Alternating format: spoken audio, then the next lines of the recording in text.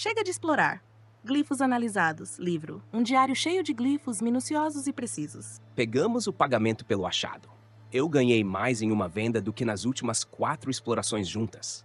E as máquinas são infinitas. Para cada uma que transformamos em sucata, outra surge para ocupar o lugar dela. Não tem essa de falta de sucata. E agradeço as chamas da forja por isso. O cansaço da exploração estava começando a me afetar.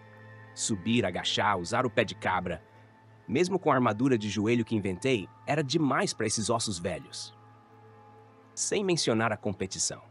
Desde que aqueles malditos Carja da Sombra encontraram armas nas ruínas, todo e qualquer bandido e rufião parece achar que vai encontrar alguma coisa que os tornará invencíveis. Se uma queda ou um erro com uma máquina não te matar, esses saqueadores matam. As ruínas eram tranquilas e vazias, lugares especiais. Agora as pessoas as tratam como armazéns. Acho que os tempos mudaram. Então vou colocar meus cacos nesse acampamento de sucata.